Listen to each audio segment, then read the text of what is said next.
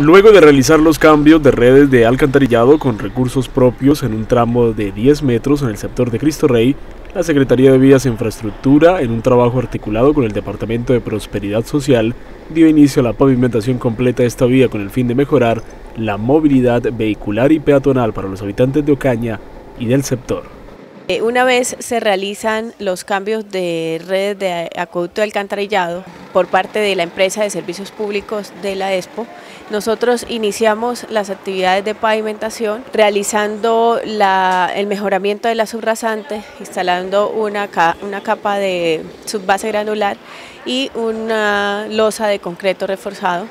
el cual garantizará el tránsito vehicular por el sector. Los trabajos en el sector tendrán el tiempo de un mes y medio donde se contempla la estructura del pavimento. La conectividad entre el barrio de Cristo Rey y eh, la importante vía de la circunvalar. Se espera seguir avanzando en el proyecto para mejorar los demás tramos que conducen al barrio Cristo Rey de la ciudad.